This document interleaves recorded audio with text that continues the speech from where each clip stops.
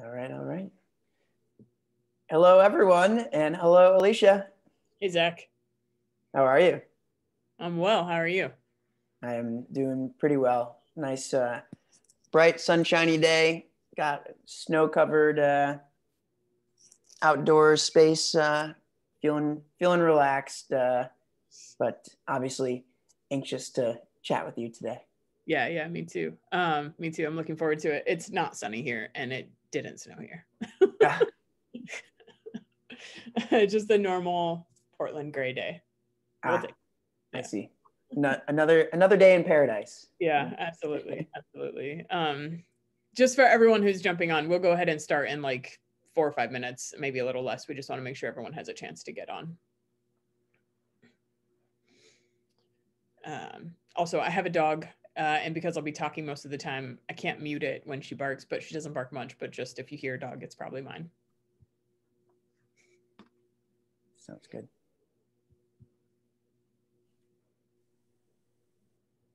Just a couple more minutes here.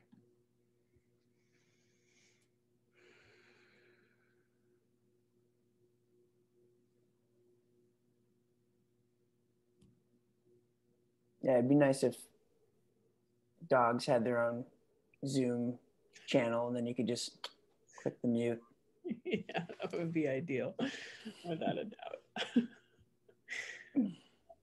just another minute here, and then I think we'll go ahead and get started. And people can continue to jump on if they're running a little behind.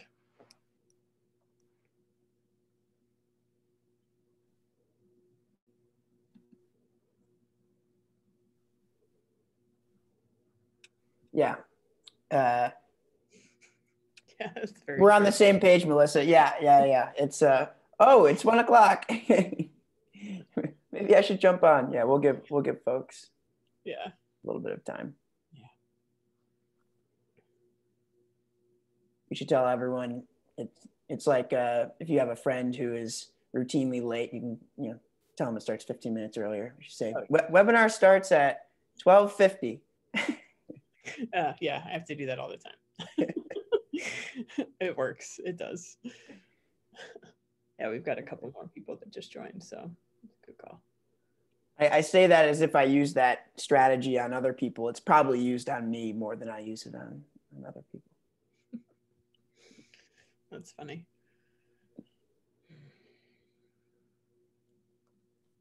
All right. What do you think? Should we go ahead and get started? Yeah, that sounds good we'll uh, we'll get kicked off, and by the time some other folks roll in, they'll get right into the meat of it. So let me go ahead and share my screen to get things going. So thank, thanks again uh, for everyone who uh, has joined today. And of course, thank you to Alicia and the Oregon uh, Jewish Museum and Center for Holocaust Education, um, who uh, behind the scenes as a team is helping to uh, not only run this amazing project, but uh, make today's webinar possible. Uh, so our session today, uh, lessons from the pandemic, challenges and successes in documenting oral histories in a virtual setting. Uh, really uh, honored, a pleasure to be supporting your, your work, um, uh, Alicia, and, and chatting with you today. And I know you guys have done an amazing job of recording over 200 oral histories in the past five months or so, which seems pretty wild. And uh, so we'll get into that. Um, but uh, I, am Zach Ellis, the founder and CEO of Their Story, an oral history platform. Um, and I'll let Alicia introduce herself before we uh, go through some housekeeping uh, items for the webinar. Uh, yeah, I'm Alicia Babstein, and I'm the archivist out here uh, at the Oregon Jewish Museum and Center for Holocaust Education, and we are in Portland. Fantastic. Um, so today's webinar uh, will be made accessible in a couple places. So one will be on their Stories aviary site. Uh, we'll also make the webinar uh, accessible, I believe, on Oregon Jewish Museum and Center for Holocaust Education site. Mm -hmm. um, and we will be preserving the uh, webinar uh, at the very least on their stories uh, permanent.org uh, archive. Uh, highly recommend checking out uh, Permanent as a fantastic preservation system. Uh, if you were on uh, their story's last webinar, uh, you'll know that I kind of framed things in a similar way. Uh, a book that has changed my life and even impacts and helps inform how I approach interviewing and, and, preparing for an interview was Joseph Campbell's The Hero with a Thousand Faces. Um, but instead of uh, thinking about today as, uh, you know, all of the uh, similar stories and journeys that uh, that we're all on. Uh, let's think about it as uh, the interviewers with a thousand faces. Uh, for anyone who is on today's session, uh, feel free to hop in, ask questions. Let's make sure that it is as useful for you as possible. Um, so definitely ask away, and we will be addressing questions as we go. Um, so the kind of general structure for our webinar, again, following the hero's journey, if you will, is uh, kind of a three act structure. We're going to talk a little bit initially uh, about kind of Alicia and OJM CHE's world before uh, the collection project that uh, they've been a part of with the Council of American Jewish Museums, the Collecting These Times project. Um, then we're going to talk about uh, kind of getting into the thick of it, the road of trials. Uh, what did it look like? What it, what did it feel like? What was the experience like to operate oral history at scale? and Alicia will really dive deep into kind of the nuts and bolts of what the process looked like. And our hope is that you'll come away with some really actionable um, uh, things that you can use uh, for uh, building a base of uh, volunteer interviewers, building a base of interviewees in, in your community, of narrators in your community, um, and, uh, uh, and get some real tactical ways to, to approach that. And then we'll talk about kind of what are some lessons learned um, from doing this over the past five, uh, six months or so, and what, what does the future look like? So uh, a couple housekeeping things. Um, if you have questions, uh, please throw them into the Q&A field. Uh, of course, we love comments as well. Anything that you want to uh, say or ask, um, feel free to throw comments in the chat, but we'll be monitoring both the OJM CHE team uh, will be taking a look and keeping us updated as questions and comments uh, come along. So with that, off we go. Uh, and I'm going to stop sharing my screen and we'll spend a lot of time kind of in conversation and then Alicia uh, will share her screen uh, as we talk about process. So Alicia, to kick things off, uh, why don't you just start by telling us a little bit about yourself? Uh, yeah, so like I said, um, I'm the archivist here at the Oregon Jewish Museum and Center for Holocaust Education. Um, we're a small team, small organization. Uh, so there are a few of us that kind of fall under that Jane of all trades category. Um, in my capacity as archivist, I do work closely with our collection and our volunteers and our interns. Um, I work with our exhibitions program, primarily in project management. Um, I do help with installations when that needs to happen. Um, I work with, on a daily basis with our core oral history project. Uh, so that includes conducting the interviews, transcribing, editing, um, especially editing the audio, getting everything ready to go up on the website, um, and then uploading all of that to the website. Um, also coordinate all of the interns and volunteers who work with that project. They also conduct, um, edit, transcribe, write the bios and abstracts that go up on the website and in the database. They also will help me find um, and identify photographs that I want to include with the web, uh, excuse me, the interviews as I put them up on the website. Um, I also work with our general intern and volunteer program within the collection. So those are the folks that come in and you know process, scan photographs, catalog photographs, and other parts of the collection. Um, most of our interns are student interns, ranging from undergrad seniors to graduate students. And I think our oldest volunteer right now is about 92. Um, and most of them have been coming for years. Um, and I also do quite a bit of our IT in-house. Uh, quite a lot. And that is uh, incredible. What, what got you into the world of archiving and cultural heritage uh, work out of curiosity? Yeah, uh, probably pretty similar to some other folks on the call. Um, you know, I'm a history buff and really had an interest in preserving um, history. I really, I mean, I sort of decided to go into library science. Uh, I suppose it's a little cliche, but I mean, I always loved being in a library. I loved my librarians in school. Um, I could just spend all day around books. Uh, and um, I really I sort of I majored in biology, and women's and gender studies in college, and you know sort of decided where I wanted to go after that, and I I landed in a, um, in the MLIS program, and it was fantastic. Um, I do, you know, I also I think that like I ended up at the the museum specifically. Um, when you're in school, it's a little hard to decide exactly what you want to do if you didn't know going in. And you know, I, I had the opportunity to work in a city, um, a government archive, and that was great. I also worked in an academic archive, and that was great. But um, I really found the most joy in working with community archives um, and the folks who really build that archive. Uh, so that's sort of what brought me to the museum and to the field. Fantastic. And uh, tell us a little bit. You, you mentioned that that's kind of what led you to uh, to the Oregon Jewish Museum. Tell us a little bit about the the museum. Yeah, so we um, house the we. It is our job to preserve the um, the Oregon Jewish experience here. Uh, so, you know, we spend um, the, the majority of our work is in presenting exhibits and collection material to the, the community and, and abroad uh, in terms of the um, Oregon Jewish history. We have an enormous education program. Uh, we're a small team, but our education team, they're three, but they, um, they reach far and wide and they do you know, we have student groups that come in uh, when we were in-house and we had exhibits in-house. Sometimes we'd have 400 students through the week, um, which was a lot. And the education team takes care of all of that. We have um, uh, rotating exhibits in our core, uh, or excuse me, in our main gallery downstairs and a smaller gallery downstairs as well. Um, those come from all over the world. And then we have core exhibits upstairs, which um, tell the story of the Jewish experience here in Oregon from the earliest days, the, the mid 1800s, um, we have a core exhibit um, regarding the Holocaust, and then we also have a discrimination in Oregon primer, um, which is a pretty fantastic exhibit. Um, that's us.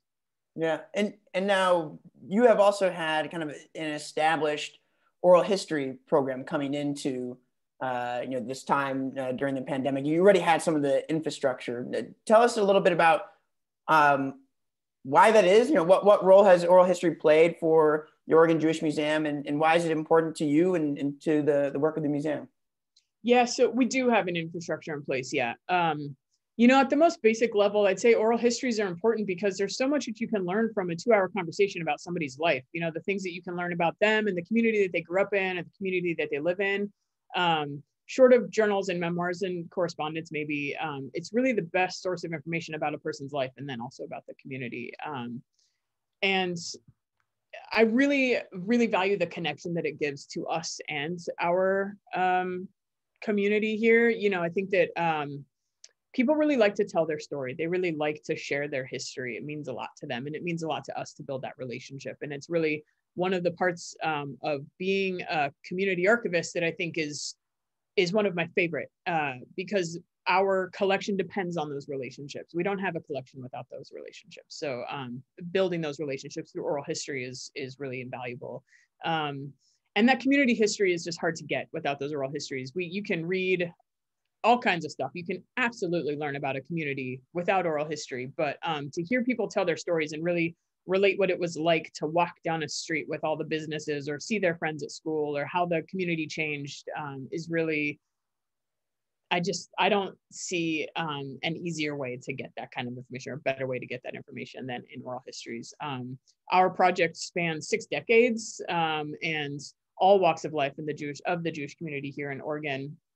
Um, our first interview was conducted in 1969, and we've changed the format over the years, and we've changed a couple practices, but our core focus is still there. It's our job to preserve um, and share the the stories of the Jewish community in Oregon, and, um, and so collecting it that way is really priceless for us. So. Yeah, yeah, and so it's it's kind of it sounds like been a, a core aspect of what you've been doing for for a long time, and a focus on the relationships. It's uh, it's an opportunity to build relationships too. So what? How do people um, hear about uh, the oral histories? Uh, how, how, do you promote the program? Um, how have you done that to date before we got into kind of the uh, the project with uh, with CAJM and, and and what have been some of the the main challenges before uh, uh, this point uh, in time? Yeah. So um, beyond what's up on our website, I have about 230 interviews up there currently, um, and we do have a great description of the project there. A lot of it is word of mouth. Um, we do, you know, we do presentations uh, frequently with our community, just we dive into the oral history project and, and we share clips and photographs and stories and sort of, um, you know, give a little bit of a history of some part of the community through those oral histories. When we talk to organizations or families, when we're asking for their material, um, you know, we do mention the oral history project and that we would love to interview anybody who's willing. So the the us talking about it constantly with our group um, our community and and um, other people sharing the project is really i think the, the best way that people can find our um, our collection and we are the only organ we're, we're the only jewish museum here in oregon so we're also sort of a natural go-to for folks when they are um, looking for some for something whether it's research or genealogy family and so they come to us um, and then your next question was about what's challenges in main or yeah maintaining that that that. Yeah, part. yeah, and even before uh, the collecting these times initiative, um, what have been some of the? You know, I think you've you've said before that there's about 800 oral histories. I mean, uh, even before the pandemic hit, um, kind of what what were some of the main challenges um, in operating the program? Yeah, so uh, I mean, there are a couple, but I'd say the primary challenge is recruiting and keeping volunteers. Um, and that continues to be a challenge. It was a challenge before, and it, and it still is, regardless of COVID, um, for the core project. Uh, so we, you know, we depend on our volunteer community to conduct and transcribe these these interviews. Uh, there are only two of us on staff who work with the the project otherwise, and we don't have time to do all of it, of course. And um, a lot of folks are interested in participating in all kinds of ways but it's a time commitment and even our retired community members have busy schedules you know so it, that's that's a major challenge. Um, at this point i'd say we have roughly 90% of our oral histories transcribed uh, which is pretty huge. Yeah we've been whittling away at that list for years and years. Um, and of course the hurdle after that is editing those transcripts. So uh, we don't take anything, we don't edit content. We don't take anything out that anybody says is part of their core story. What we do um, take out are false starts, all of the ums, the yas, uh, the us, and try to make sure that it reads smoothly with the audio. And that takes just as much time, if not longer, uh, than the transcription piece. And we have just a couple people who help with that part of the project. And then all of the other pieces, getting the biographies and abstracts written, which is um, a skill in itself. It's not, it's, it, it, you have to read the whole interview to really, you know, get a sense of the person if we don't have other stuff related to them in the collection that you can draw from and the abstract for what the interview is actually about. So it takes time and it takes, it takes practice. Um, so those are two of the real, the biggest hurdles is really keeping the, vol- you know, getting volunteers involved and, and keeping them on board uh, and then actually working through the material. Yeah, yeah, totally. And so talk about pandemic hit. What what were your first uh, kind of reactions or, or, steps to conducting uh, oral histories during during the pandemic? yeah. So obviously, we had no idea that um, we'd be in this sort of remote work environment for um, as long as we have been. Um, and that said, then we had no intention of changing our methods. For the way that we conducted oral histories. I think that we probably would have been content to simply put collection on hold for a time if we were really just going to be shut down for a couple of months. Um, but sooner rather than later, we realized that we were going to be in this for a long time. Uh, and so we did have a few people who were already lined up to, uh, uh, on the interview queue. They, you know, like they, we didn't have dates scheduled, but they, we'd already started that conversation. So we went ahead and um, conducted those interviews using Zoom, which was um, very easy. You know, it's it's an easy platform to use, um, and it just saves to the cloud or computer, and and that worked well. Uh, it's there's a, a, the challenge with that is most of our participants they were fine uh, because COVID had come and everyone had been using Zoom for some time uh, being recorded on video, but most of all, all of our interviews are done um, audio only. So, you know, that was a bit of a, a, hurdle for a few folks who decided not to participate.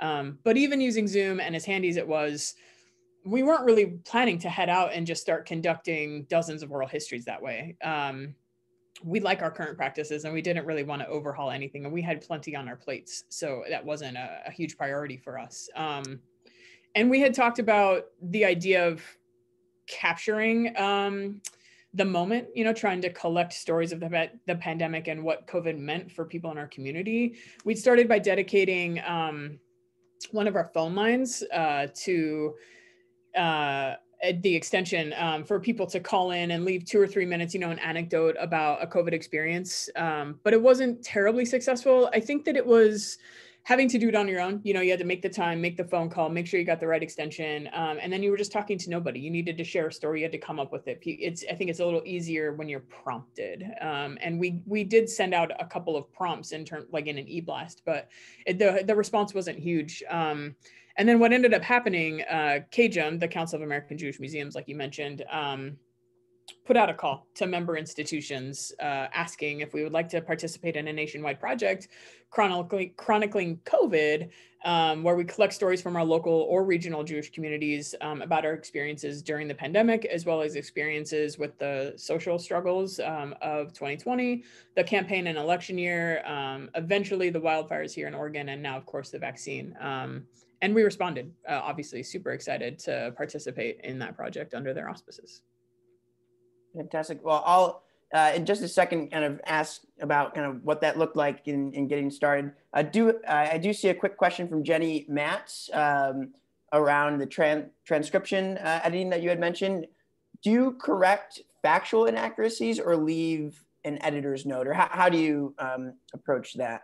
Yeah, we leave an editor's note in brackets. So if someone mentions um, a year that uh, an event happened, those are the easiest uh, for us to correct uh, without going back to a person. If they get a birthday wrong or a, something like that, we may not know unless they let us know that that's the case. Um, and we do send all of the transcripts to the narrators so that they can go through and make sure that we've spelled all the names correctly that they've mentioned, um, and that if there are any uh, inaccuracies that they can help have us correct that. But if say someone said uh, the year that the war started um, and it's incorrect, then we leave it because they said it and the audio matches that. But then in, in editor uh, note in brackets, we just make sure that we note that the, the date is correct, uh, that we correct the date. And we do that for all kinds of things. Um, yes, that's how we do that.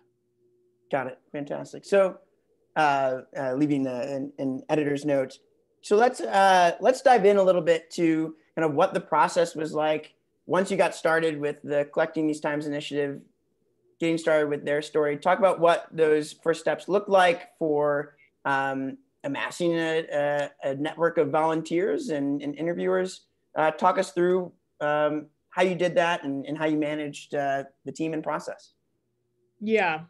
So uh, first steps really um, I met with uh, my two colleagues, so the director of the museum and the curator of the collection. Um, she's the other one who works on the oral history project with me most of the time. Um, and we talked about what we wanted to collect in terms of contact content like what was what were we after um CAJM when they signed us all up you know they had their their uh, sort of some sample questions that they suggested we ask and so we worked with that and sort of came up with um, questions that were specific to our community here uh, and we also talked about how many of those stories we thought we could collect. Um, I think I threw out about 50. Uh, I thought that that was ambitious um, with everything else on our plates, especially since I was going to be managing the project. Um, I think one of them said 75, one said 100, maybe 150, and so we went ahead and went big. We we aimed for 150, um, and we would have been happy with any number that we collected, I think. But we, you know, we were really hoping for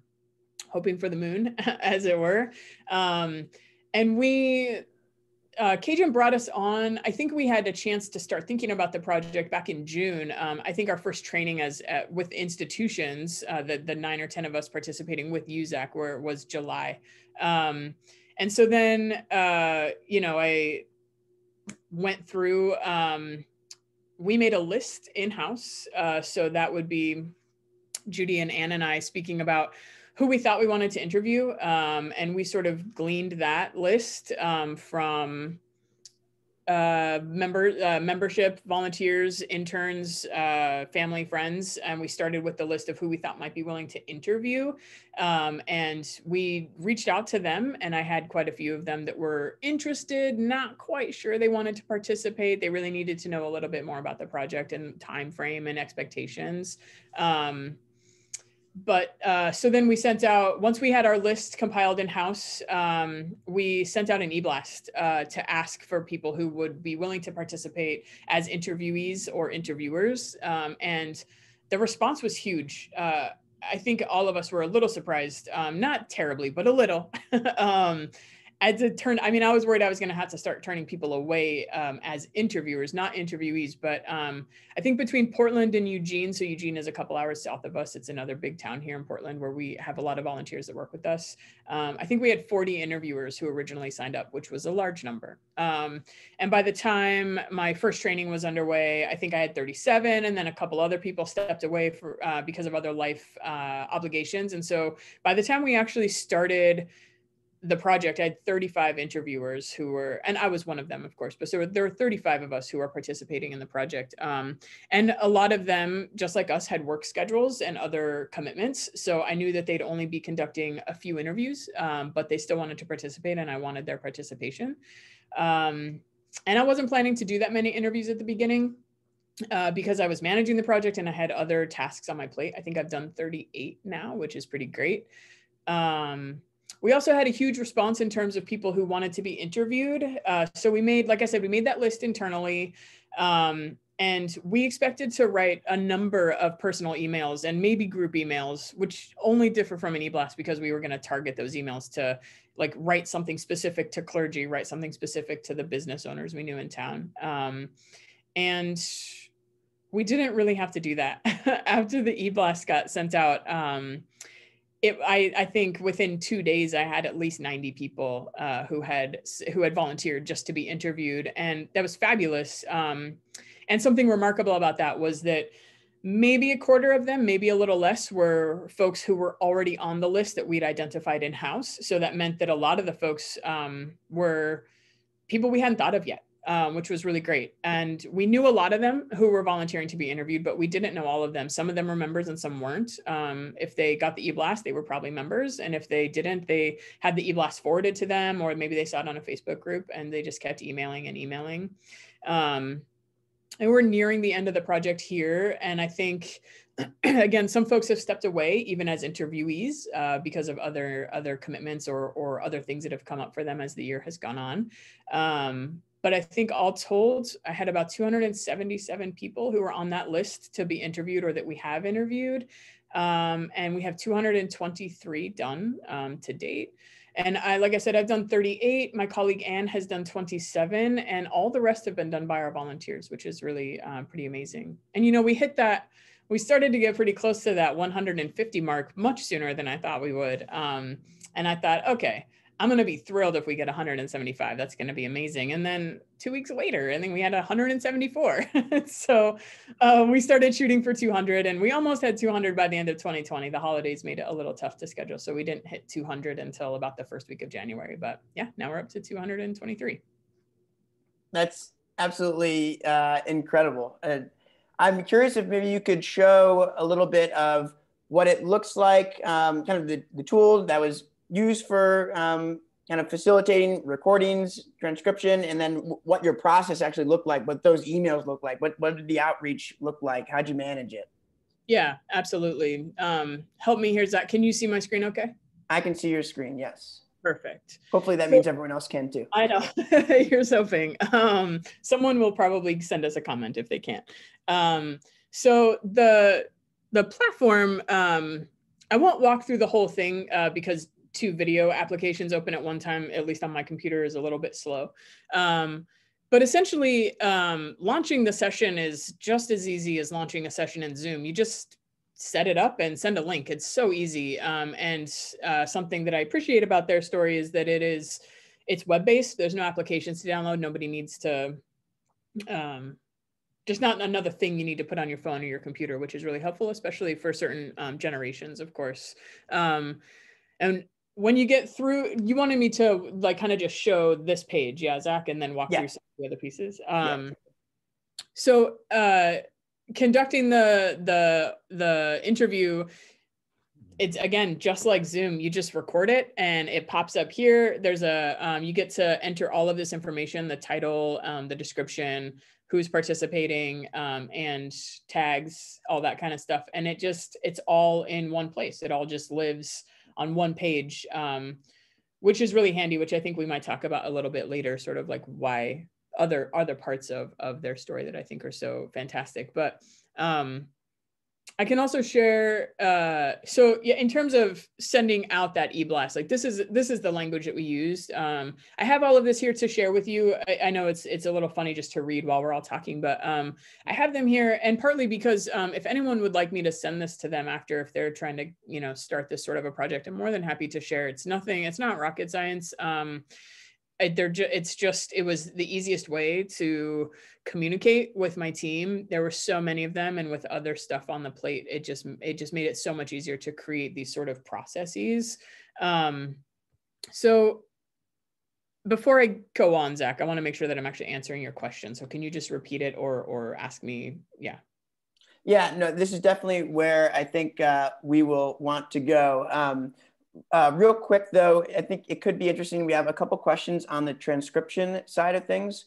One, maybe to show what that looks like in TheirStory, but two, uh, Melissa has a question here, um, which is, do you rely solely on volunteers for transcription? Do you ever outsource this work to companies like rev.com? If not, is it for quality control ethical concerns, financial reasons?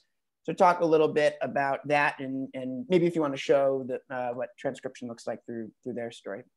Yeah, I'll show transcription through TheirStory, and I'll also just talk a little bit about um, us in house. All of our transcription is done uh, by volunteers, uh, and the primary reason for that is is it is financial. Um, it those those services cost money, and they're not.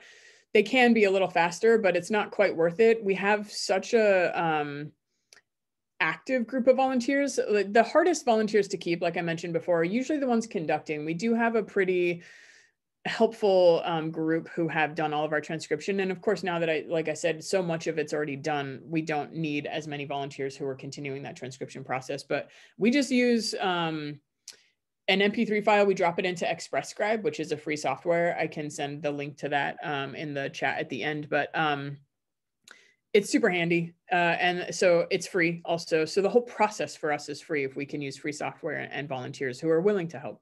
Um, so we don't, we don't send it out. And it's not, it isn't necessarily because of ethical concerns. We would simply include that in our waiver that folks knew that it was going to be sent out to somebody to, to transcribe. But um, yes, so our transcription process in-house for core project is Word and ExpressScribe. And then in TheirStory, um, this one already says edit transcript because I've already transcribed it. But if you go down, you can see um, there's a button that just says auto transcribe.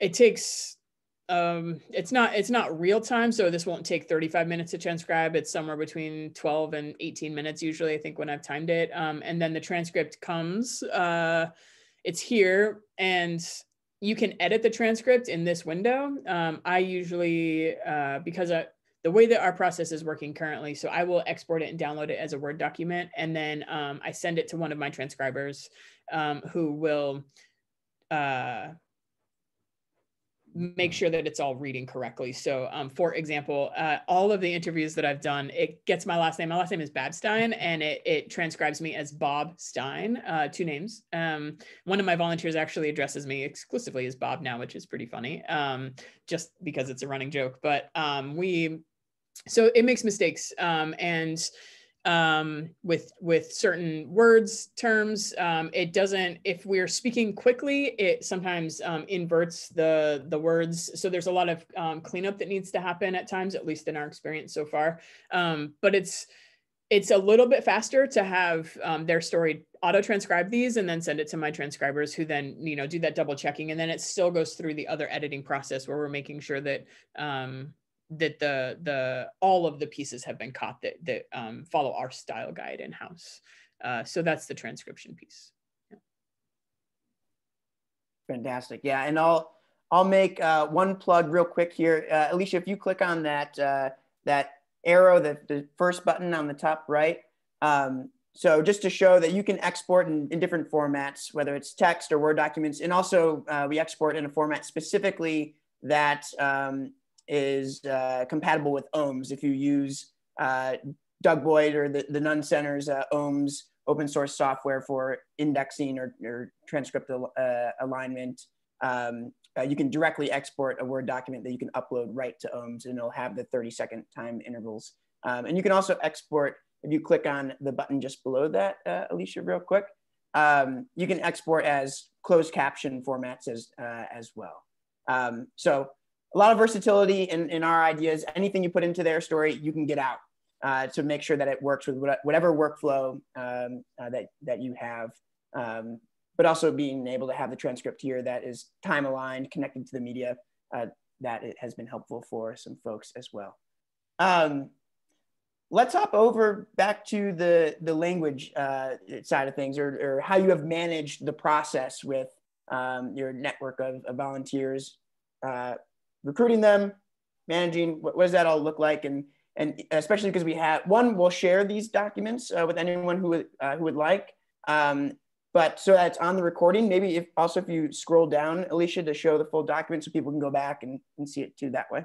Yeah, absolutely. Um, so this was the, this is the e-blast that we sent out, um, short and sweet uh, and we dedicated the e-blast to this. So we didn't, a lot of times we send out e-blast, you know, for events coming up and there are a few things listed. We dedicated one just to this project, which was helpful.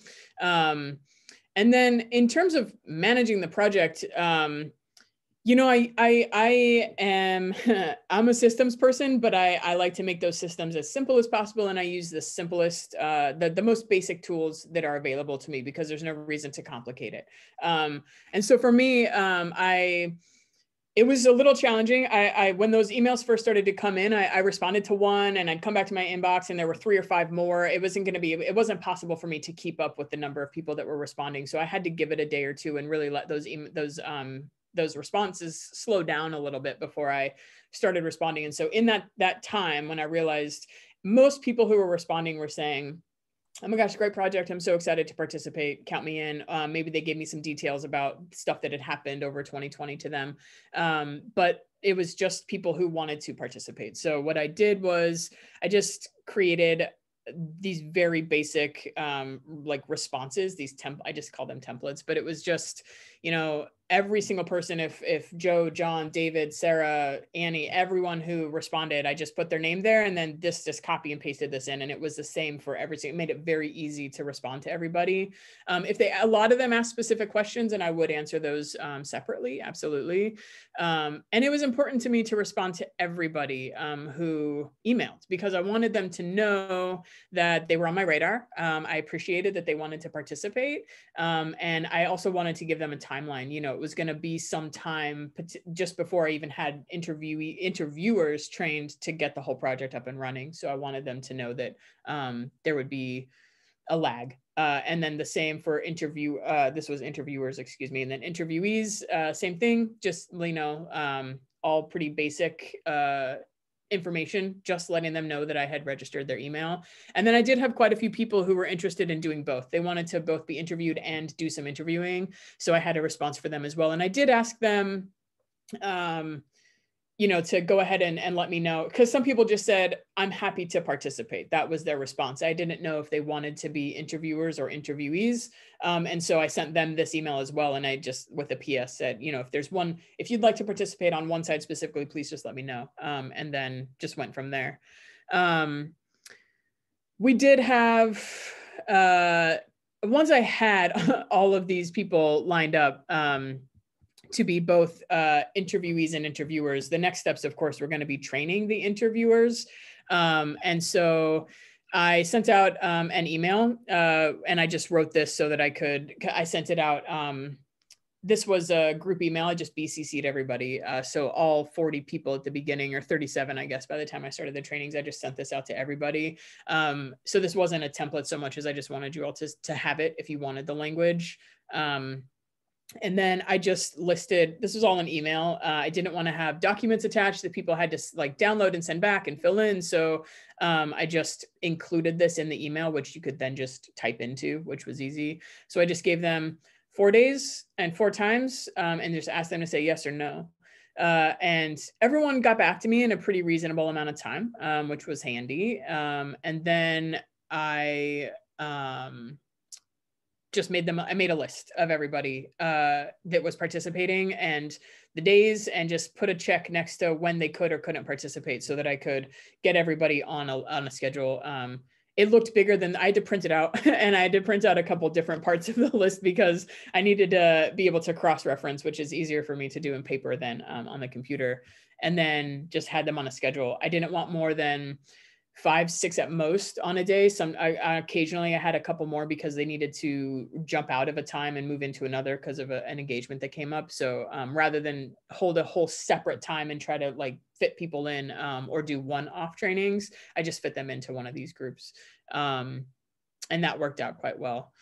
Um, and then, so the trainings were interesting. Uh, the training process was all done via Zoom. Everything was remote. Um, and so most of everyone, Zoom worked great for everybody. That wasn't a problem, fortunately. And all I did was share the screen uh, and walk them through step by step uh, how the the tech part of the whole project was going to work. So. Um, uh, you know, how to launch the session, how to create an account and get logged in, uh, launch the session, record the session, get to the the metadata page, the the sort of finish page where they can enter that title and the names of the participants um, and saving it, which was a really important step. Of course, um, I reiterate I reiterated that a hundred times to every single person in that training because I really didn't want these discarded on accident.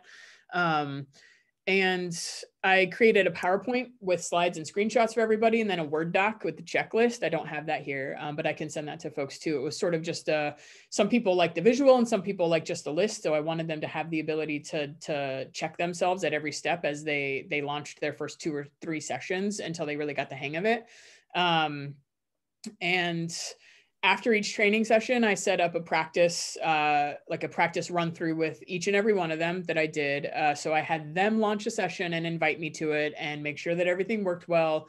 Didn't take long for most of them. Um, those sessions were really helpful for several reasons. Quite a few people ended up with some glitches uh, whether they were audio or video or you know their browser wasn't working correctly. So sort of troubleshooting that on the front end as opposed to when they were beginning uh, an actual interview was really helpful. They still had some of those issues. It also like helped i just kept notes you know so so and so wasn't able to um hear me the first time. It took us a little bit to get her microphone working. Then i made a note of that so that when she had her first interview on the calendar i could make sure that if that happened again these were the steps that we went through to make it work. Um, and then I also had a few of them who had never conducted an interview before and were nervous about the process, just talking to somebody they didn't know. I had them conduct a mock interview with either me or my colleague Anne, um, uh, because we've done so many interviews and and transcribed so many. It was, you know, we can kind of walk them through that process, and that was a huge challenge in itself. Um, to not only train people on this technology that none of us had ever used, including me, um, and for many of them that the this whole video computer technology was new anyways. You know, most of us hadn't used Zoom before COVID. We hadn't had a reason, um, and also to train them to conduct an oral history, uh, an interview was not impossible remotely, just a little, just challenging in a different way. Um, not being able to to I don't know, walk them through that. Usually they shadow, you you know, like then we shadow them while they're doing an interview, and it's hard to do that remotely. So it ended up working out um, just fine.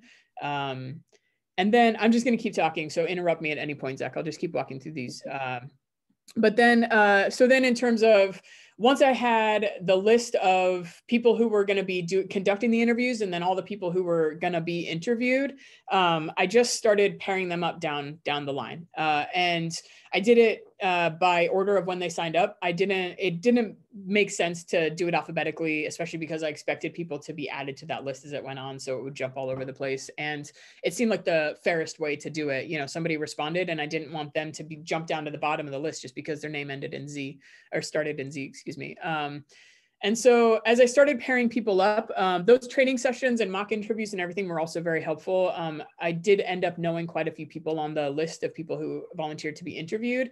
Uh, and so getting a feel for how somebody's somebody's comfort level with technology and the whole process was helpful in pairing them up. So I did jump around um, a couple times in terms of, uh, you know, so this person was next on the list, but I, I connected the next available um, interviewer with maybe the third person down on the list because the pairing made more sense. Or I did have people who volunteered as interviewers and they suggested people that we should interview. And if they agreed, then they asked if they could do their interview. So sometimes they were way down on the list, but um, it was really important to me that this process be uh, enjoyable and fun for my uh, volunteers. This was they're volunteering to help us with this project. So I didn't want it to feel like work or an obligation um, in any way. And that's all relative, obviously. Um, everybody manages their schedules differently and technology can be challenging, but um, I wanted to make it as smooth and fun as I could for everybody. Um, and then I created this is just I sent this out. I've used this this literally all of these same words now um, in every single introduction that I've made between an interviewee and an interviewer. Um, and it's just, you know, putting in, just changing out these X's for names. What I ended up doing is every single time I introduced Anne to somebody, you know, I would just go to my sent folder and pull out that one and just change out the name of the participant. It was perfectly easy for me to do that. But this was the easiest way. It has all the information that they need. Um, it's it wasn't it's a lot of information. I don't really think it's overkill, but I just wanted to make sure everybody got the same language. And it didn't mean that I had to write a, a new email every single time. Copying and pasting this made those responses or those introductions take five seconds instead of however long to type this all out. Um, and I did attach a waiver. I don't have that here for, for you all to see, but I, uh, again, I'm happy to share our waiver language. It's pretty standard. Um, and I just attached it, asked them to fill it out. Um, and then I always included my cell phone number uh, so that both participants had it. Um, and everybody has used it many times. Um, I get calls all the time. Um, I've had I have so many more contacts in my phone now because I wanted to make sure if somebody was calling, I didn't deny it because I thought it was spam um, and they were desperate for help in an interview. And then I also sent out this language to um, interviewers to get in touch with their interviewee the first time. Uh, and so uh, what some of them expressed to me um, was nervousness about getting in touch with someone they might not know. Even though I'd made that initial introduction, it still felt a little bit like a cold call for some people.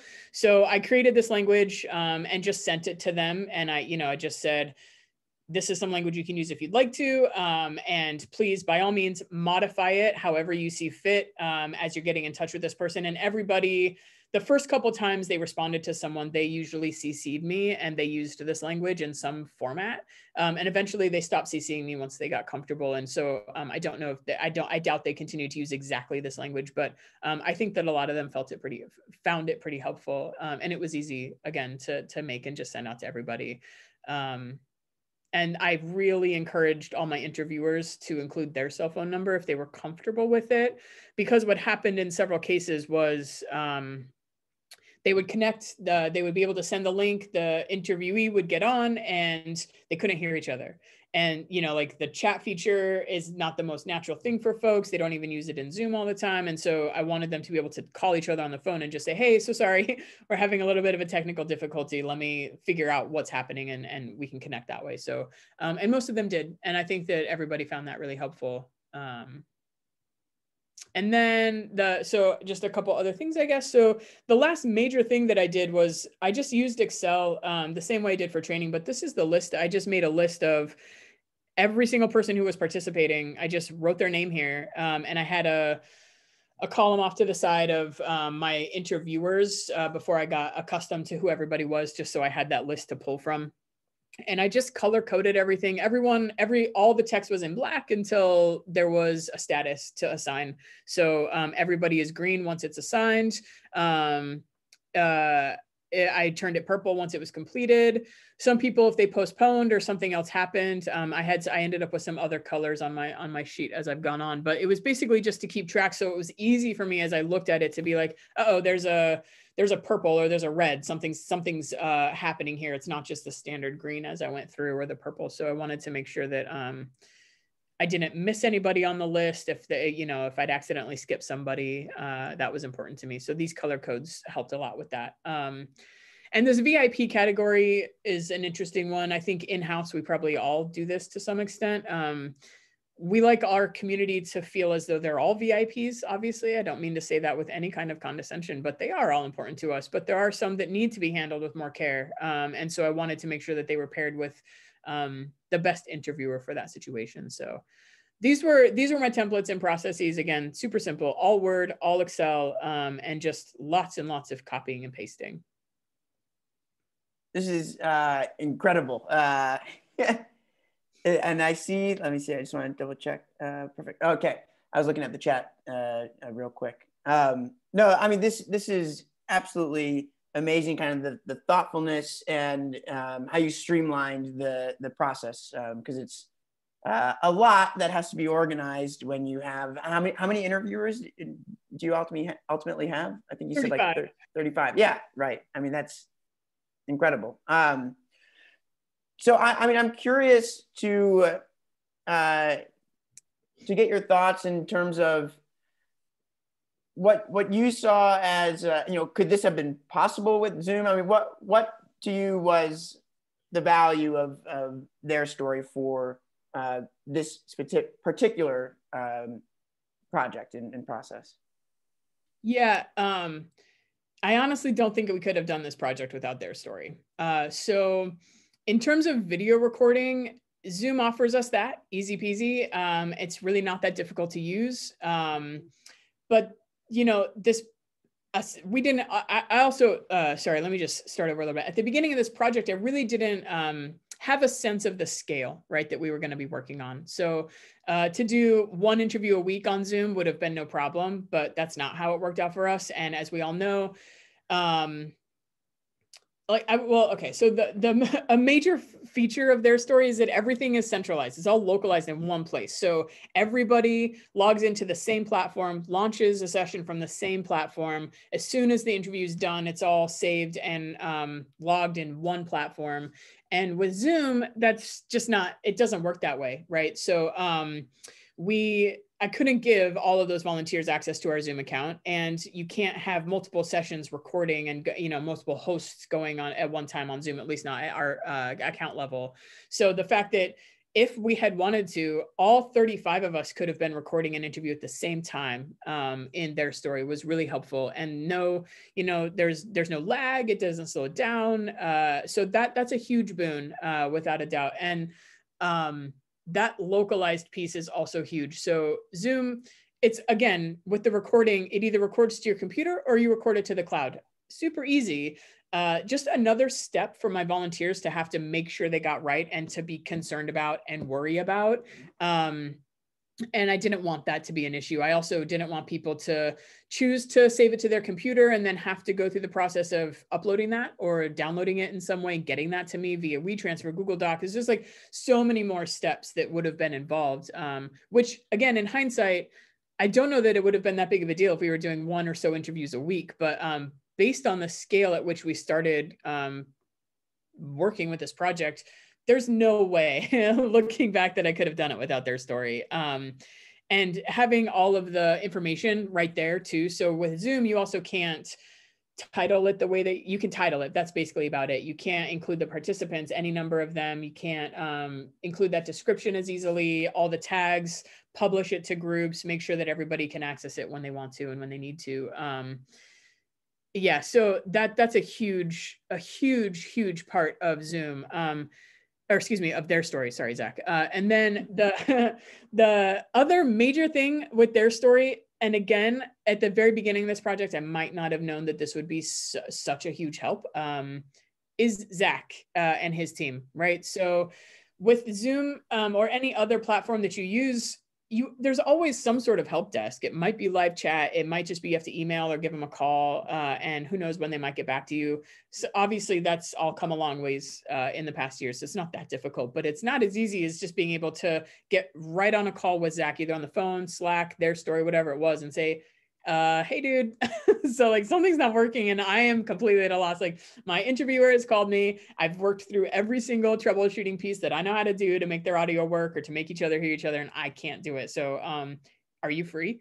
And he almost always was. I think I remember two times where he was like, oh no, two minutes, I can't, you know. Um, and he so that that piece of TheirStory is invaluable. And um I've talked to Zach a lot. I don't see that going away. So, in like, I couldn't recommend um, TheirStory highly enough for that feature alone. Everything else you could work with, right? Every all of us can make do with other systems, but that um, that sort of hands-on help at any time you need it, and the, they've got all the knowledge. You know, they're not just working through a um, a manual that's at their desk. Uh, is really, really, really helpful. Um, so, yeah, I.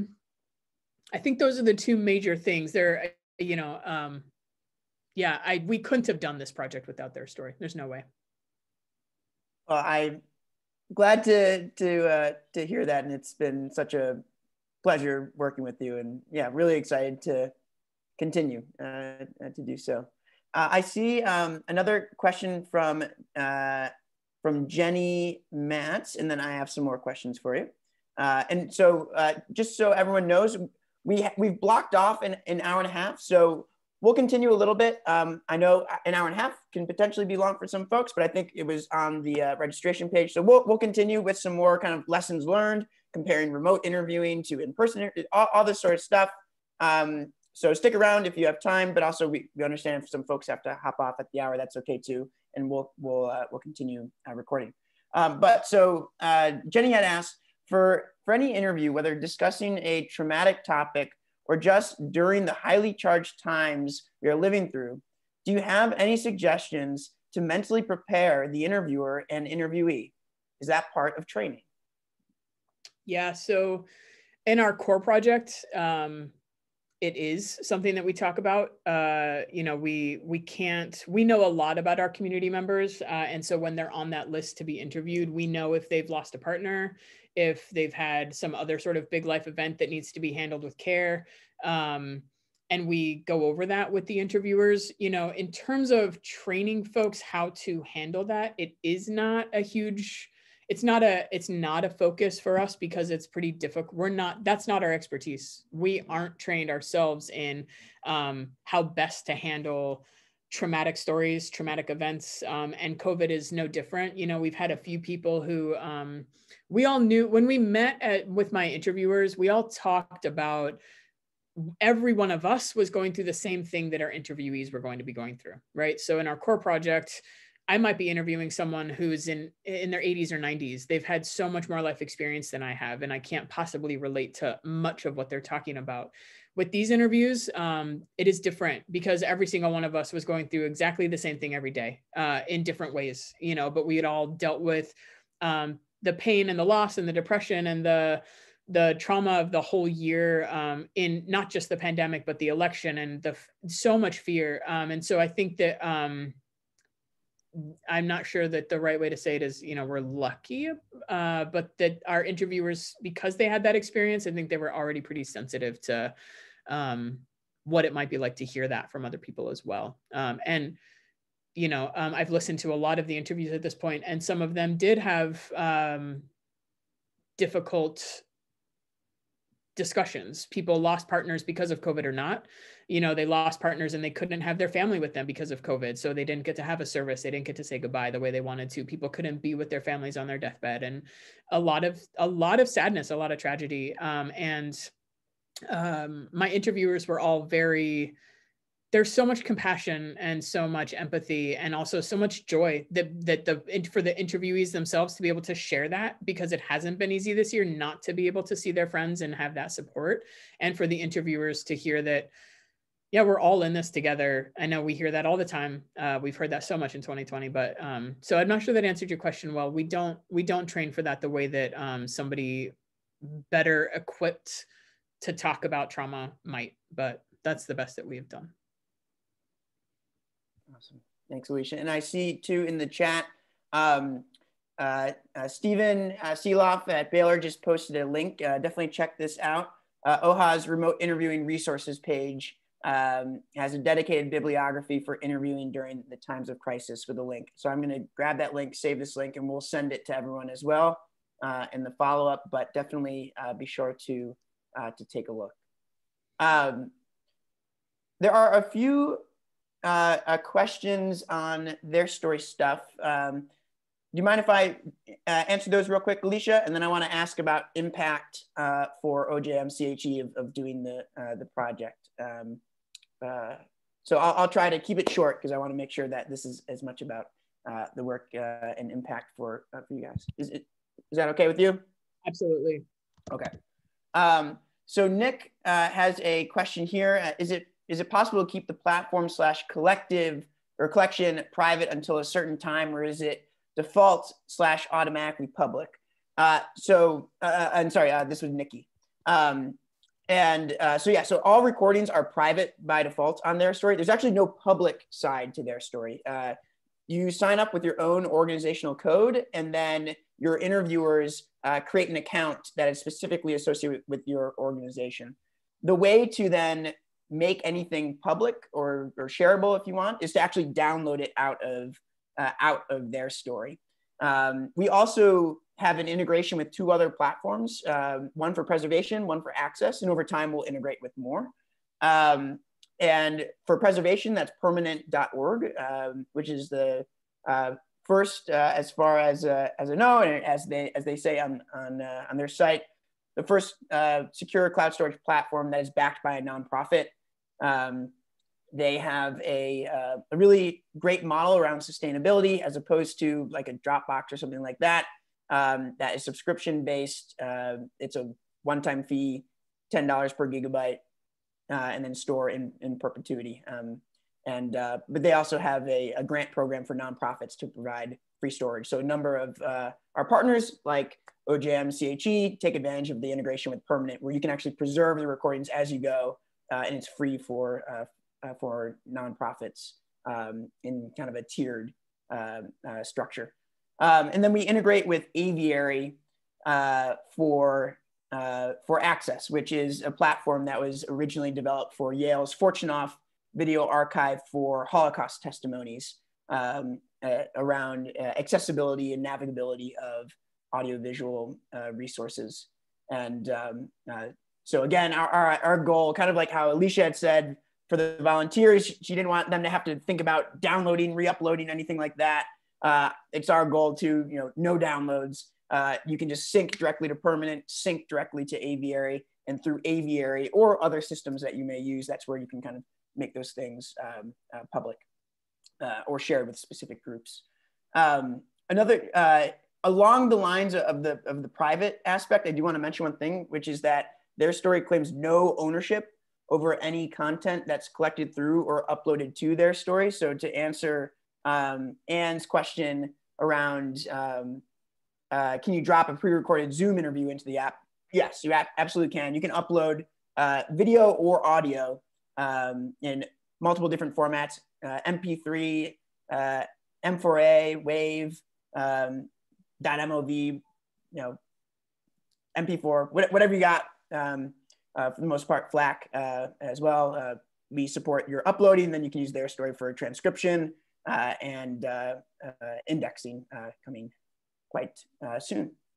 Um, so those, I think, are a couple of the things that uh, I saw in the chat as it relates to, uh, uh, to TheirStory.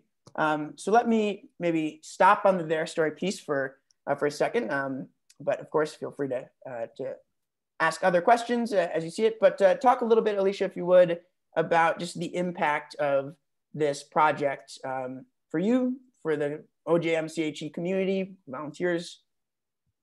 What, what was the impact?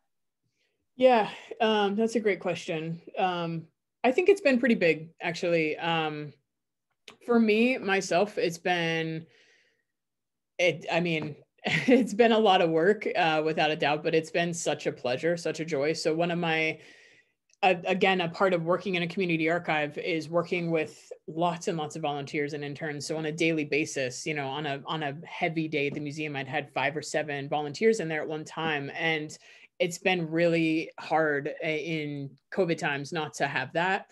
So getting to work with a project like this, where I got to work so closely with volunteers again, was really special, just really nice. Um, and I, of, of all the folks that signed up, I knew um, a handful you know so now having also gotten to know so many others um, that and we've kept up personal correspondence outside of just the project which has been also really nice just to build those relationships i think that's also been really special for my volunteers um, some of them uh, I can't remember if I mentioned this earlier. I apologize if I ha- if I did, but um, you know, I would pair up a, a, an interviewer with an interviewee, and I had no idea who knew who, if at all. And sometimes she'd respond. One of them would respond to me and say, oh my god I, I know her. Our kids went to school together. It's been 15 years since i talked to her but we saw each other every day you know while our kids were in school. And like it'll it'll be so great to reconnect with this person. And um like that's been really special just to sort of get to witness those connections. Um I, yeah, I, I think connections are a really big part for me. Obviously, I also think in terms of the museum, um, you know, it's it's it's added 200 plus stories to our collection and it's it's built for us um, an archive of what it meant to be Jewish and live through 2020 and the pandemic. So something that um, that was part of CAJM's call to us and something that we were really interested in as well um, was at least for us in our community. So when the pandemic first hit, you know, we were all going through um, all of our synagogues had to had to pivot to right. So um, Passover changed, Purim changed. Um, all of these events that they'd had planned had to change, and that includes the high holidays. So um, most of our rabbis who were preparing their sermons were asking us if we had anything in the collection related to the 1918 pandemic, right? Um, so we looked and we looked and we looked, and we have some diaries and lots of correspondence and meeting minutes and and things from synagogues and organizations dating before 1918 you know we looked from 1916 all the way through 1920 and not a single mention not one in our collection um, that was of use. So uh, and what we discovered really was people didn't want to talk about it at the time. Like a um, recording those stories was different than it is now but it was something people wanted to get past and forget. And while that may be true for many people of 2020 as well, we didn't want that to happen. If people were willing to share their story, we wanted to collect that story. And so I think for us as an institution to have this piece of history in our collection is is huge. Um, and it's just you know again the connections so many people who weren't aware of our work before or knew we existed but hadn't really participated in events or programs um, know now you know that we're here. And that's been a huge a huge deal for us too. We've had more requests for um, different ones of us to do presentations or to give a talk to this group about what we collect. And you know oh my gosh we didn't know you guys were there. And that's been really huge for us. I think that impact can't be overstated enough yeah, it's incredible. Kind of the the relationships, the the awareness, the um, just engagement with with the community. Um, yeah, that that's incredible. I uh, I want to jump back to uh, uh, Krista and Susan had two comments earlier about managing volunteers that I want to jump back to, and also just call out real quick uh, a comment from Amanda that um, around impact. You know, the intergenerational conversation element of oral history is such a huge element for positive social change and community building and yeah, yeah. i agree well well said 100% yeah. love mm-hmm. it um, so uh, krista and uh, and susan had some questions before so krista uh, i'd love to hear more about the structure of your volu- volunteer program how are they trained supervised what does quality control uh, look like? I think maybe that is something that we haven't uh, addressed since uh, Chris's earlier uh, question. Uh, what have you found is the sweet spot in terms of number of volunteers doing work and staff members supervising? Um, if she's still listening, I wonder if it's possible for her to clarify. And she mean specifically with the oral history project or the collections in general? Because uh, you know, I can talk about both or just one. Um, I guess I can talk about um, it's it's all a little bit the same, I guess. So I'll just start with the oral history program because that's what we're talking about currently. So um, the and that's what Krista qualified to. Great. Um, so it's yeah. So uh, the training is the way that we you know structure our volunteer program, I guess, so that they're trained. Um, we put out a call every once in a while. We're asking for volunteers um, to conduct oral history specifically. Um, and we, just like I did uh, for this project, we just send out an email, ask people to confirm a time or more that works for them so we can get them into the museum. And we really walk through the whole process. You know, what is, what's the purpose of oral history? Why are we concerned with it? What value does it bring to our collection and then the bulk of that training is really how to conduct an oral history um, which is more than we can talk about here but again i can send you those documents as well if you'd like just how we train our volunteers the sorts of questions we suggest and the ones we discourage you know open-ended questions can be good at times but they're challenging you know if you say tell me what it was like growing up in Portland. That's a little broad. It's a little hard for people to answer that question. Like, where do I start? So, we really recommend, for example, you ask, um, tell me about the school you went to um, as a child and tell me about what those relationships were like. Tell me who grew up in your household with you you know really like pretty specific questions.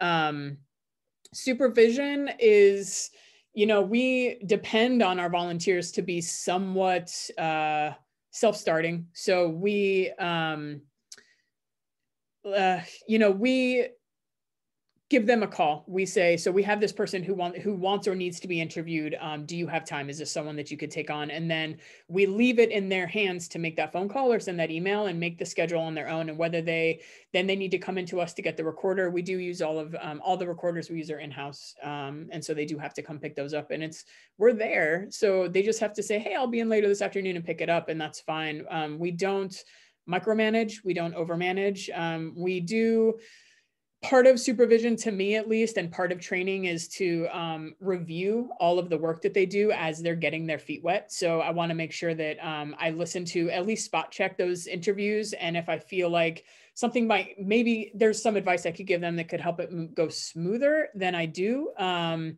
and uh, you know i think that that's a piece that most of them really welcome. They really want to um, they really want to have some guidance. They want to do it well, you know. Um, and in terms of quality control, uh, that we really depend on our waivers and our our um, you know the discretion of our interviewers to keep things um, to themselves especially that their inter that their narrator has asked for these are public stories we we make sure that everyone who's participating knows that we're going to use these stories in our collection they're going to be available for research um, for use in our exhibits use in our programming probably uploaded up to the website um, used in social media we do have people who uh, ask that we don't use their interview or pieces of their interview in certain areas, but otherwise give us full use of that story.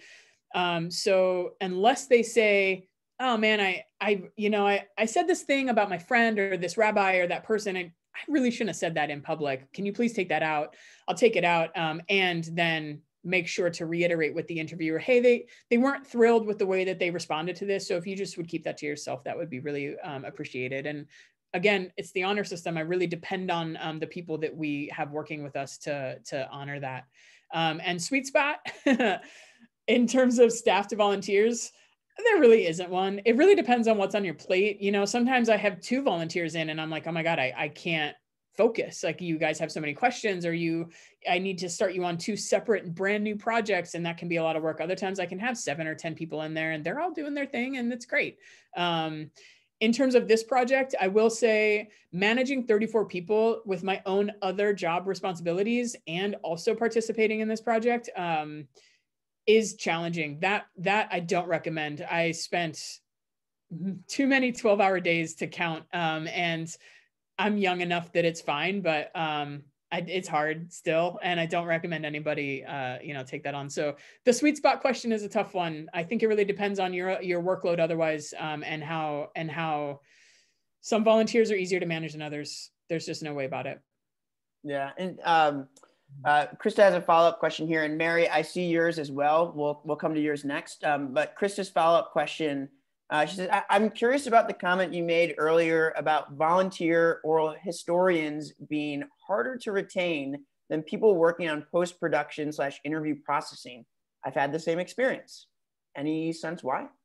Yeah, so um, I, I really think it boils down to time commitment and nerves. So people come to us and they they hear our oral histories, they they see the work that we do, they read them, maybe a friend or family member of theirs has been interviewed, and they're really excited about that concept, right? I think it's really excited to be or easy to be excited about a thing before you really get involved with it.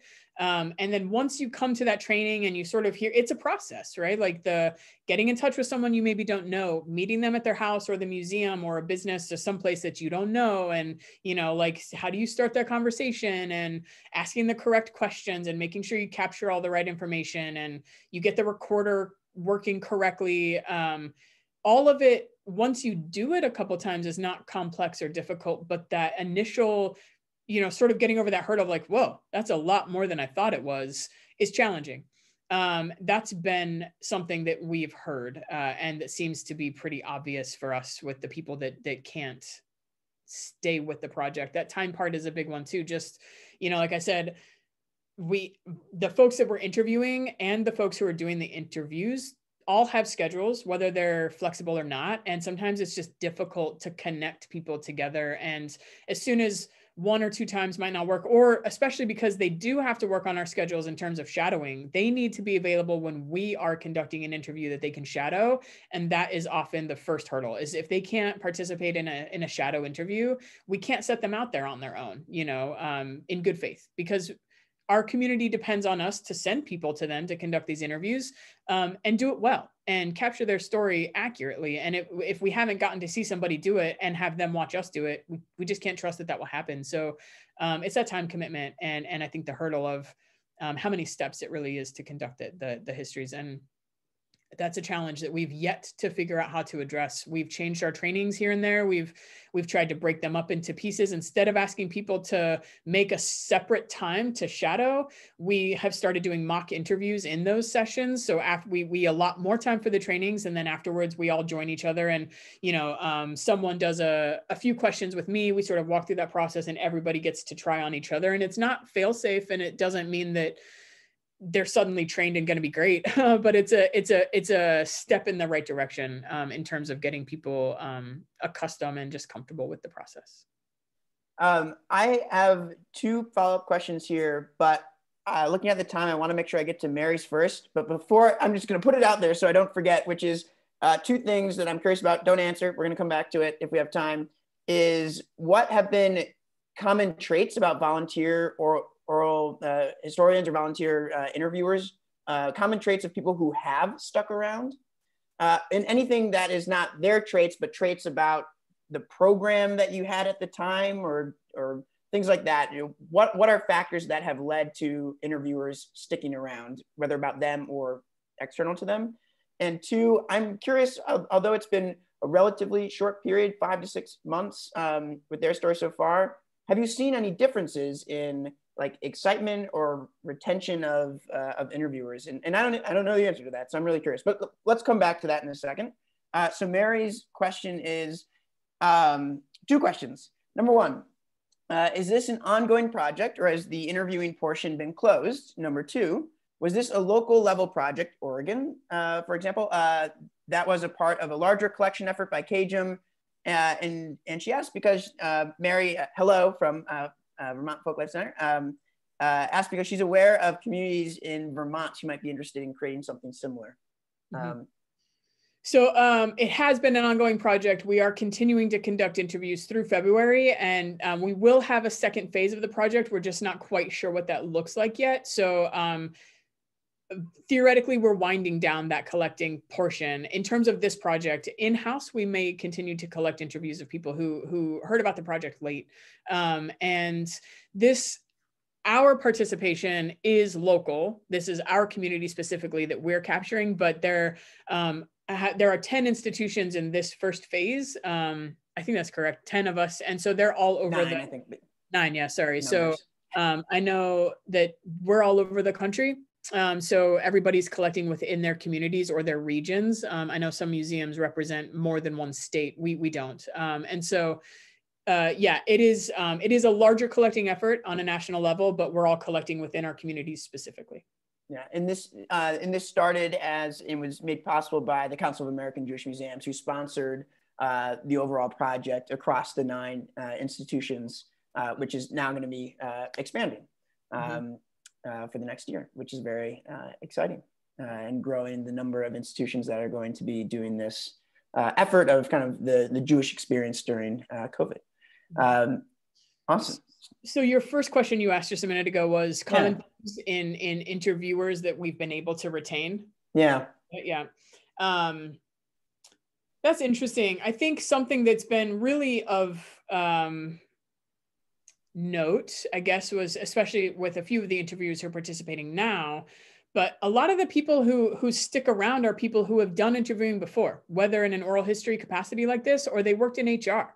You know, I have a lot of people who signed up for this project and they said, um, Oh, it's you know I've I've done so many interviews over the years, uh, and I've asked them what their background is, and they've they've worked in management, so they they have experience connecting with and interacting with people that they've never met before, and that they have to draw information out of, and so that's a that's a group that um, I would continue to sort of pull from. Not that it's actually that easy to find that, like to just be like, oh, hey, people who have worked in management and HR, do you want to participate in our oral history project? Um, I haven't really figured out how to put that kind of a call out there.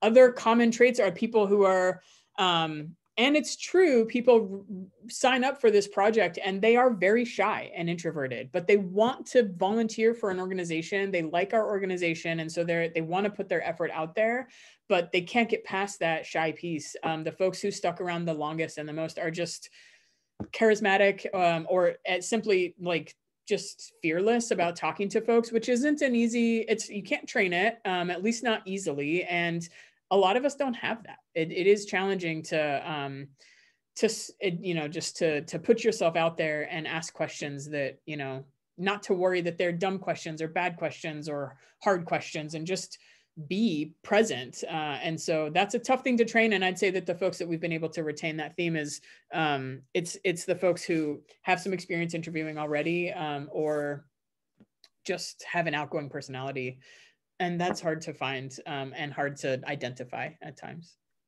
Yeah yeah. So what um, what are some kind of lessons learned from from the experience? And uh, you know things if you were to start the project over what would you do different? Uh, I would make sure that there was one, maybe two other people who were either on staff or volunteers, uh, but but that were helping to manage the project. Um, I loved every minute of it, and it's been great. But you know, COVID has been challenging for all of us in different levels. Um, we've had a loss in our family you know we had to travel unexpectedly. I was doing this work while i was in a different time zone working with my people here which made things challenging um, and if i had had other and i had i had very um, I, ha- I have incredibly supportive colleagues um, and our director and, and my my colleague Anne like there's they will do anything for me and anything that I ask. But sometimes because I didn't have those sort of systems in place, it was hard to just say, oh, how about can you do this and you do this and I'll do this just to like offset that a little bit. So from the get-go, having one to three hands working on a project like this if you're if you're shooting for the scope that we that we aimed for even though i thought 150 was ambitious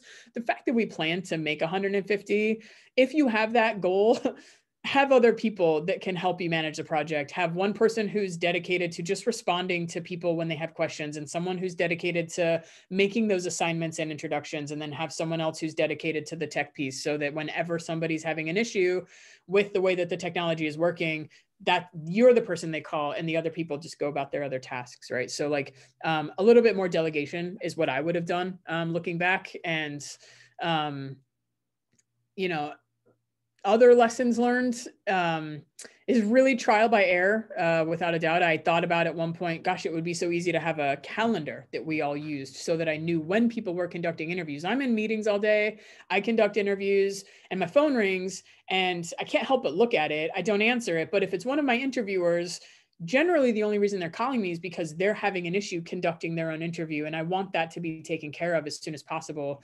Um, and if i knew that they like if they could see that i was busy then they could have a backup call they'd have to like can't like reschedule that interview and wait till i was available. But of course it's hard enough for for a staff to manage a collection or excuse me a calendar sometimes. 35 volunteers making sure they all used it and updated it correctly and you know that would have been challenging too. So um, yeah the lessons learned piece is for me the biggest one is is help. It's just having having um, other team members that are that are there to not just support and offer anything but that you as a project manager really set that up ahead of time um, and and and trust and depend on them and, and and really delegate not just say yeah technically they're handling that piece but you still do it all yourself anyway so.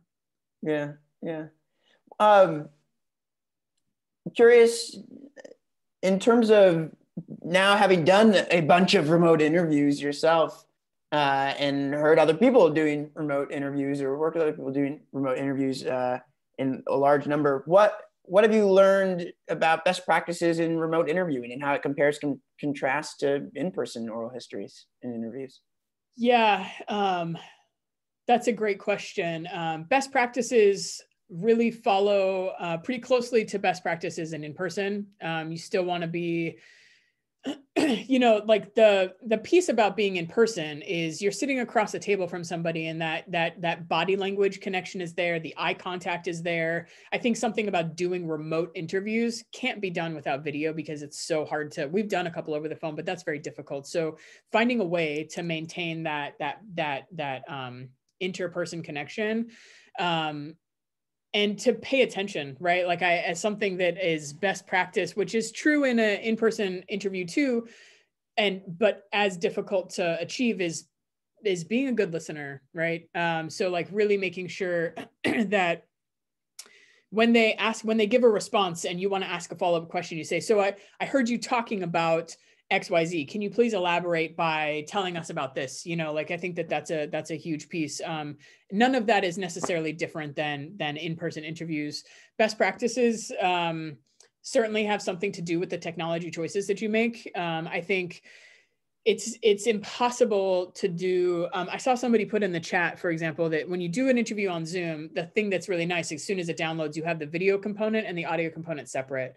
So for us that's handy because our transcription software uses the audio only and it's an mp3 so you can just save it drop it right there. I extract it from these interviews if i want to do that which is not difficult it's fine. Um, but um, choosing the right software to conduct a remote project with is is uh, absolutely paramount. Uh, I think that you will make your life so much more difficult and run into more trouble and more hurdles than you need to if you choose a technology or try to piece some technologies together. So, like I said, the fact that TheirStory is not only the place where you can do the recording, but then the actual finished pro- product is also right there. And then you can transcribe from right there. You can edit that transcription from right there. You can export it from right there. You can download, you can do everything right there as opposed to, okay, so we use Zoom to do the video recording and now it's saved either to the cloud or the desktop or server and then we have to move it around in order to use it. Um, you know or we have to make a list or we have to you know it's just not as it's um, it's absolutely possible but uh, i think that that's that that has to be part of that conversation um, in terms of remote projects like this is that software piece. Absolutely.